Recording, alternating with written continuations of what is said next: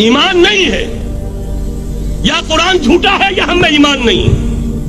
कुरान कहता है तुम इनकुन तुम मोमिनीन। अगर तुम मोमिन होगे, तुम ही सरबलंद रहोगे। हम तो सरबलंद नहीं है। तो क्या कहेंगे, कुरान झूठा ईमान नहीं है। हमें मरूसी अकायद मिल गए हैं अपने वालदेन से। हम by birth accident of birth मुसलमान हो गए हैं। हमने इस्लाम की कोई कीमत नहीं दी है। इस्लाम को कोई तकलीफ़ झेल कर अपने लिए इख्तियार नहीं किया है। पहला मरहला है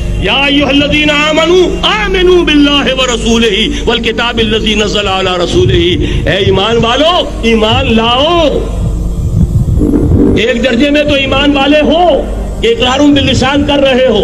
आमन तो बिल्ला है कमा हुआ बेअसमा ही व सिफात ही व कबिल तो जमिया काम ही इकरारुम बिल्लिसान व तस्दीकुम बिलकल आमन तो बिल्ला व मलाइकत ही व कुतुब ही व रसूल ही वल कद्र खैर ही व शर ही मिन अल्लाह बादल मौत। लेकिन ये इकरारुम बिल्लिसान है।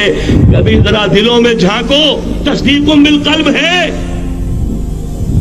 तस्दीकुम बिलकल्ब हो जाए तो ज़िंदगी का नक्शा बदल जाएगा। सोच बदल जाएगी। तरजीहात बदल जाएँगी। आज ज़िंदगी सबसे अज़ीज़ है। फिर शहादत की मौत उससे कहीं ज़्यादा अज़ीज़ हो निशान मर्द मोमिन बात गोयम जो मर गाय तबसम तबस्सुम पर लबे तो पहला मरहला है, ईमान की तजदीद। ईमान को ताज़ा करो। ईमान को ताज़ा करो। और उसके लिए मम्बा और सरचश्मा कुरान हकीम।